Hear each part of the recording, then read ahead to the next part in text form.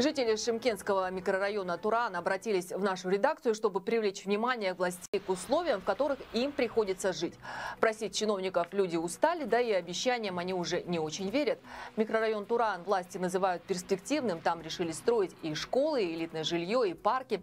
Правда, пока даже коммунальные проблемы тех, кто там уже живет, решить не удается.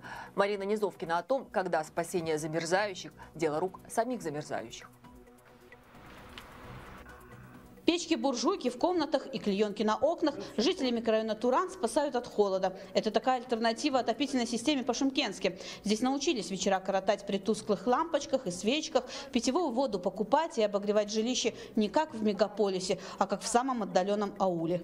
Была полностью, почти что 90% заселена здесь, но отсутствует полностью коммуникация, понимаете? Поэтому э, мы бы просили, бы, значит, руководство Акима, вот пока шли, значит, строительство агрессии подстанции электрические, нужно, можно было бы вести параллельно э, частные, да, внутри, внутрипоселковые газификации э, водопроводы, соответственно, электрификация. Сейчас в данное время просто люди выживают.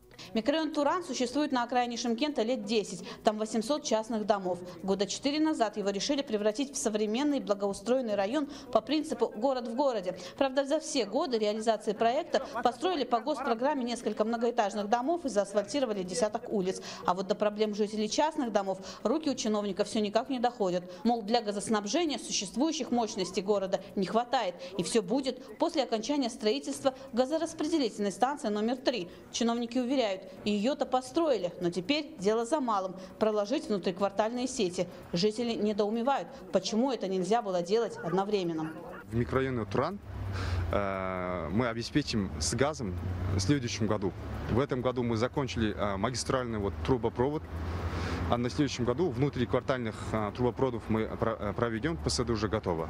Чиновники обещают, будет в микрорайоне и вода, и электричество, правда, только на следующий год. Для них тоже сделали только магистральные трубопроводы, поэтому жителям Турана придется опять ждать. А между тем, многие уже оставили свои холодные дома и снимают в аренду жилье, чтобы не замерзнуть. Марина Низовкина, Виталий Заинтинов, Atameken Business, Шымкент.